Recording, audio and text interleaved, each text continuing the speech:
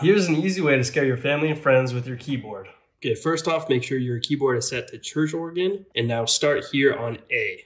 We're gonna go one to one, so A, G, A, A through D, up to C sharp, back to D.